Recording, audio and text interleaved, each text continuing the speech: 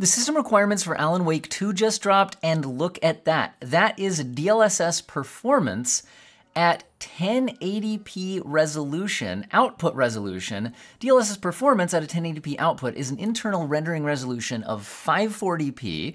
Granted, the DLSS does make it look a lot better than 540p, but this is to hit 60 frames per second at medium graphics preset with no ray tracing on an RTX 3070. So for 1080p 60 frames per second at medium graphics settings, you need to be on an RTX 3070 class graphics card at a internal resolution of around 540p. Uh, cards like the 6700 XT from AMD also put in that class, which means you would be relying on FSR2 performance upscaling, which will look even worse. Not that DLSS looks great at an internal resolution of 540p. Uh, you know, DLSS is a great upscaler, but that's gonna take a hit to the image quality, guys. That is the medium no ray tracing settings for Alan Wake 2. Now, I'm a little bit disappointed here because Alan Wake is one of my favorite uh, uh, favorite games from that generation. Actually, I found the, the story, the setting very interesting. Uh, the gameplay, uh, you know, was, was, good enough for me to, to, to support the the um, the storyline. I also really liked Control as well from Remedy, and we've been seeing the path tracing mode uh, being advertised by NVIDIA here, showing that this will be the next game to feature their DLSS 3.5 ray reconstruction technology, which we've seen in Cyberpunk path tracing mode so far. So there was a lot of hype for this, um, and again, big NVIDIA feature set game, so I fully expected their path tracing mode to be incredibly demanding. What's extremely disappointing to me here is that the non ray traced mode is that insanely demanding. Because, guys, like, the Steam hardware survey, I know it's not a perfect uh, survey of the entire PC market, but it gives you an idea of the kinds of graphics cards that a lot of people have. Now, granted, a lot of people on Steam are maybe just playing, you know, their favorite esports title. Maybe they're not going to be playing the latest, you know, AAA single-player release. But the RTX 3060 in September did move to the top, uh, the top GPU, but it's followed shortly by the 1650 uh, followed by the GTX 1060, RTX 2060. Then we get a 3060 Ti. By the way, notice that everything on here so far is, and then 3060 laptop, uh, is below the 3070, which we now reach the 3070 down here in one, two, three, four, five, six, seventh place. Oh, and then the one after, the two after that, actually three after that, are actually weaker than that. So in the one, two, three, four, five, six, seven, eight, nine, 10, the top 10 GPUs on the Steam hardware survey are all at or below, most below, we only get the one at, the recommended settings for 1080p medium upscaled from 540p to hit 60 frames per second in this game. And that just feels crazy to me. um, I don't know. What do you guys think in the comment section? We're definitely going to dig more into these system requirements. Let's back off of the GPUs for a second. We'll definitely come back. I'm going to like, ah, shrink myself way out of the way here. Storage, it's just listing an SSD. You need 90, 90 gigabytes on an SSD. Um, hard disk drives need not apply. Who knows, maybe the game will run on them, but it certainly does not look like it's going to be officially supported. You'll also want at least 16 gigabytes of RAM and doesn't seem like it'll need any more than that if we fly along. Uh, one thing I will mention is the CPU requirements, if these end up being correct, don't seem that crazy. Uh, the minimum CPU to hit low settings at 30 frames per second uh, is the i5 7600K. If we pop over to Tech PowerUp's CPU database, uh, we can take a look at that. It's a four core, four thread uh, CPU from back in, uh, looks like uh, 2017. So they're not asking for that much if you just want to boot the game and get around, get, you know, definitely not 60 frames per second. But then there, the only other CPU list listed on the entire chart is a Ryzen 7 3700X. Uh, Ryzen 7 3700X is an 8-core 16-thread CPU, but not one of incredible recency or power. Uh, this came out in uh, 2019. So it is several years old at this point, and that's all, all they're listing on uh, the rest of their requirements. Now the requirements go up to, you know, 60 frames per second. Now sometimes enabling heavy ray tracing can have a burden on the CPU with that big BVH structure. Um, but it looks like they're at least claiming that a Ryzen 7 3700X should be good for 60 FPS at these settings, which actually, if that's true, is better than the optimization we've seen on a lot of recent games, uh, where we have seen a lot of heavy CPU limitation on performance. Uh, in, in, a lot of recent titles. So at least there's that. But it looks like on the GPU side of things, uh, you want at least six gigabytes of VRAM, and uh, you know going up from there. And then there's you're going to be relying on crazy amounts of upscaling, it looks like, to get any sort of reasonable frame rate if these system requirements end up being true. But if I don't see why they would put out system requirements so it, that would be like bad in the wrong way, if you know what I mean. like, could you actually run the game on, on much uh, more modest hardware or settings? Seems like the game developer wouldn't want to be scaring people off this badly. Or, you know, maybe it's all a big conspiracy to get you to upgrade your GPU. Who knows? But anyway, I think I will definitely be uh, benchmarking this game when it launches. Let me know if you guys are interested in that. What else do we got? What if you want to just play the game? Minimum low settings. So graphics preset low, 1080p monitor, 30 frames per second, rendering the game below 1080p internally using quality upscaling. That is going to be a 720p internal resolution to hit 30 frames per second at the lowest preset. Uh, they're asking for an RTX 2060 or an RX 6600.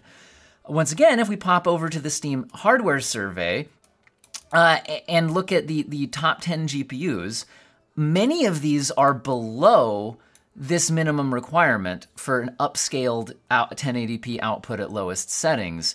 If we pop over here, this is Tech Power Up's relative performance chart, and I like this for giving a quick idea of how a large number of GPUs compare relative to each other, uh, especially for people who don't have an encyclopedic knowledge of, of how all of these various GPU generations and names and all of that compare. That being said, this is not a perfect chart, and it's also not necessarily tuned to one particular game. This is not necessarily how they will perform relatively to each other in this game. But for ballpark figures, it's reasonable. And the RTX 2060, that's similar performance to a GTX 1080, so that would be around the minimum requirement as well. Uh, this is sim similar performance level to Intel's new Arc A580, and again, the RX 6600 is within about 10% of um, uh, of what we're seeing there, and that's the other one listed as this minimum requirement. If we go up though, that means that cards like the RTX 3050 are potentially a bit below the recommended requirement here. Now it's close enough that you might still be getting that, you know, 30 FPS-ish experience, but you know, cards like the 1070 are below, 1660 Ti, 1660 Super. Those are very popular part cards, 1660. Uh, 1650 Super. Those are all, and especially getting down here, pretty well below the minimum spec for this game. Uh, cards like the GTX 1060, which still featured very prominently on the Steam hardware survey. That is only 63% of the performance of the minimum listed GPU. And so, uh, you know, maybe going down to performance mode, upscaling at the lowest possible settings, sure, maybe you'll still get around 30 FPS. We'll have to find out. Um, but yeah, that's not great. And if you got a card like a 1650, you are way below spec, let alone if you're down on something like a 1050 Ti, all of that. Again, pop, why am I mentioning cards that weak? Well, again, they do feature pretty prominently. 1650 is the number two GPU on the Steam hardware survey, followed in third by the GTX 1060, right? And the 2060, our minimum listed GPU here, is in fourth place. So I'm just trying to give a feel for like what people have in their PC versus this um, this spec. Now, if you want to play at 1440p, they're listing 1440p medium, but they only go up to 30 frames per second. And hit 30 frames per second, they're listing an RTX 3060 or an RX 6600 XT. Um, and this is with uh, perform, uh, sorry, balanced mode upscaling. So that's uh, somewhere in between 540p and 720p. I forget exactly what the number will be. Uh, no, sorry, but this is from a 1440p baseline, so never mind. I'm, I'm off on that anyway. But the point is, we're, we're well below a, a native 1440p. We're definitely upscaling, and that's to hit 30 frames per second on something like an RTX 3060. Um, and again, a 6700 XT from AMD and uh, and all that here listed for the 1080p 60 FPS. Now, I also just to give more, let's give more context to this. What if we looked at something like Cyberpunk, right? A lot of people, you know, Cyberpunk pretty demanding game. I get it's a few years old now at this point. But let's look at 1440p ultra settings with a little bit of upscaling. Uh, DLSS uh, quality 1440p upscaling on some relatively modest cards. Some of the ones are listed here, like the RTX 3060, RX 6700 XT. This is from one of my uh, head-to-head comparison videos. And if we go ahead and look at this, uh, we are seeing that something like an RTX 3060 can hit almost 60 frames per second at 1440p Ultra with DLSS quality in Cyberpunk. A card like the 6700 XT at 1440p Ultra FSR2 quality upscaling is well over 60 FPS in the built-in benchmark mode. Sure, there are some more demanding areas, especially in the new, um, uh, whatchamacallit, I'm spacing the name, Phantom Liberty update. But again, compare that to what we're seeing here. Uh, we're seeing 1080p performance mode for the 6700 XT at a medium preset. So definitely expect uh, these non-ray trace modes to be significantly more demanding than what you're seeing in a game like Cyberpunk's non-ray tracing modes. But what if we actually jump up and take a look at, uh, at ray tracing? Although we could mention that for a high graphics preset 4K 60, they're saying that you could get by with a 4070 or a 7800 XT with no ray tracing. Uh, although you will want performance upscaling and at least 12 gigabytes of VRAM, which would probably rule out cards like a 3080, which is similar to performance tier to this, but would fall below the 12 gigabytes, and they did specifically list 12 gigabytes here. So we'll have to see how it would do on a on a um, 10 gigabyte card like the original 3080. And again, that's with performance upscaling. Performance upscaling is an internal resolution of 1080p. So that's 1080p upscaled to 4K uh, on something like a 4070 just to hit 60 frames per second. But let's hop into the ray tracing mode. Now, um, if you want 1080p, 30 frames per second with medium uh, settings with ray tracing low. So I think that's a medium graphics preset with ray tracing set to low. 1080p 30 frames per second with upscaling at the quality setting uh, you would want at least a 3070 or a 6800 XT. Those are definitely not GPUs, especially the 37, like 6800 XT, you might be expecting, okay, my ray tracing performance is gonna be bad. But on a card like a 3070, for 1080p ray tracing, especially if you are upscaling at 1080p, that feels pretty brutal to only be getting 30 frames per second here. Now, another thing I'll mention when uh, system requirements, let's say 30 or 60, one thing to keep in mind is they don't usually mean 30 or 60. They usually mean, you know, average, eh, like 30 usually means you can't lock 60. Uh, so 30 could actually mean you're usually above 30, you're somewhere between 30 and 60. So, I mean, if that got you in the 50s-ish, maybe it's not the end of the world, but if they do mean closer to actually 30 average, uh, that's kind of scary. And that's without the path tracing mode. If we want to jump into the path tracing mode, ray tracing medium, so again, this looks like medium graphics preset if I'm reading this correctly, with ray tracing medium and then with path tracing turned on. So I'm curious what the graphics menu for this game will look like. It looks like you can turn on path tracing somehow separate or at different settings than the ray tracing settings. Since this is ray tracing medium, path tracing on, we have ray tracing high, path tracing on here, with a different medium versus high setting here. So that must be the base graphics preset is how I'm reading this. Seems a little more confusing than how some games uh, do these. But anyway, if we want some path tracing, ray tracing medium, all of that, 1080p, 60 frames per second, they are saying an RTX 4070, you'll want a 12 gigabyte GPU. Uh, no AMD's GPUs listed for path tracing mode, which uh, given how path tracing performs in Cyberpunk, and this is kind of our next example of that, that's not too surprising for me. Um, even if it is still disappointing, it's still not too surprising. DLSS quality setting 1080p, so we're still below native resolution, RTX 4070, 1080p 60. Now, I thought it would be interesting to take a look at, um, at this. So in one of my uh, Cyberpunk videos, when I first looked at ray reconstruction, I, all, I did test a bunch of GPUs. This is the RTX 4070 at 1080p DLSS quality in Cyberpunk's path tracing mode. So I was kind of cur curious how they stack up relative to each other. I could play this for a minute here.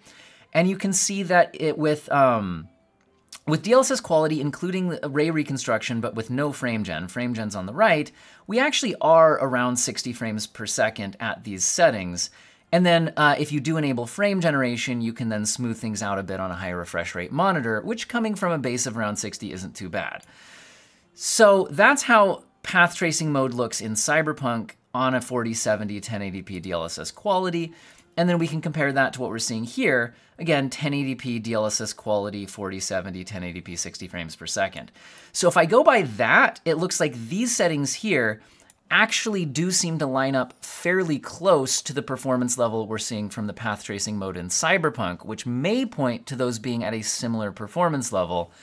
However, that wasn't quite the ray tracing high plus path tracing yet. That was with a medium baseline, whereas in Cyberpunk here, I was testing everything at the absolute max. So this was everything at absolute max. Looks like Alan Wake could actually push things beyond that. So uh, they're showing if you want 4K but upscaled using performance mode, so a 1080p internal resolution upscaled to 4K output, uh, they're recommending RTX 4080 for 60 frames per second. My other question is I'm really hoping that that 60 frames per second is not including frame generation. I'm hoping that's before you enable frame generation, because that would be a whole other level of crazy. But anyway, um, so totally maxing the game out at 4K, maxed everything RTX 4080, 60 frames per second if you're upscaling from about 1080p resolution. That's what they're saying there, and they are suggesting 16 gigabytes of VRAM for those settings. Anyway, that's what we're seeing here on the system requirements. Um, that's pretty crazy. If you want to see how your GPU stacks up, I will have this tech power up relative performance chart in the database. I can kind of, you know, slowly scroll through here. Again, the 2060 is the minimum listed. Uh, and then, you know, it goes up from there and it goes up quite a bit from there. Um, so you could find where your, your GPU kind of falls relative to all of that. Again, the CPU listed didn't seem too crazy or anything like that but I am very curious on the 27th how this is going to go. The last thing I'll mention is it is also starting out as an Epic Game Store exclusive, I believe. Um, I uh, if I'm remembering correctly, Control, which was the previous game from this developer, also started out as an Epic Game Store exclusive.